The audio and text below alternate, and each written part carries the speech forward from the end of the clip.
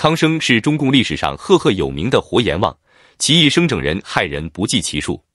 一九三七年，康生从苏联回到延安。虽然他在早期的的工作中与王明关系密切，但聪明绝顶的康生并没有和王明联络，而是看准了风向，投靠了毛泽东，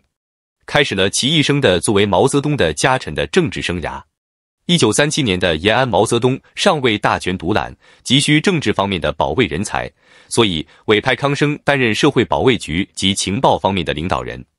这也是康生作为最后一个进入毛泽东核心圈，但又颇得毛泽东信任的原因之一。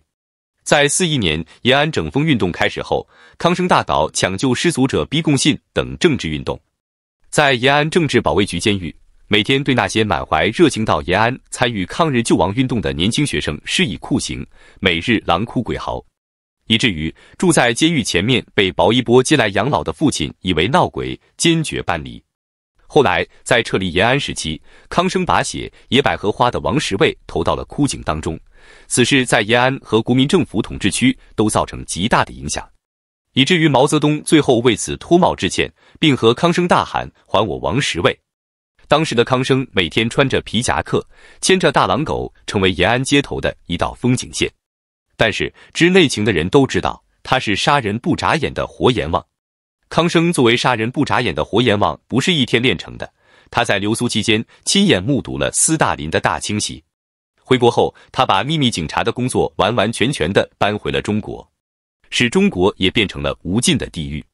同时，康生也是中国劳改营的创建者。他建的劳改营从上海、莫斯科再到延安和北京，运作时间长达半个世纪，有无数的中国人在他的劳改营内被慢慢折磨致死。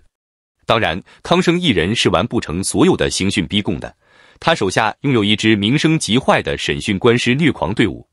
当康生对他们的工作不满意时，则会亲自上场。最具有侮辱性的刑法，莫过于他会亲自拴住犯人的鼻子，像牵着牛一样牵着凡人们走街串巷。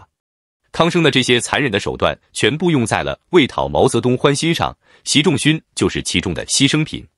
中共建政后，因刘志丹的侄女写了一本关于刘志丹的小说，经习仲勋批准出版了。由于毛到陕北火并了刘志丹，所以这一直是毛的一块心病。康生揣摩上意。喊出这是利用小说反党，将习仲勋关押了十七年之久，逼得习近平姐姐自杀。习仲勋不得不装疯卖傻，假装不认识自己的儿子，并在儿子面前吃屎，给习近平留下了极大的心理阴影，心理极度扭曲，造就了一个更大的杀人魔王，导致今日的习近平妄图统治世界，释放中共病毒，支持普京发动俄乌战争，企图入侵台湾，给世界人民带来深重的灾难。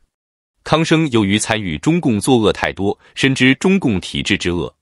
晚年的他身患已产生了被迫害妄想狂等各种心理疾病的症状，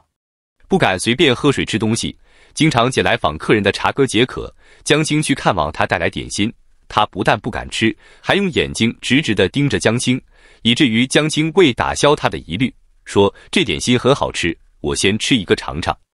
一九八零年，康生去世五年之后，中共决定开除其党籍，撤销其悼词，其骨灰被其子女悄悄地移出八宝山，并公布其所谓罪行，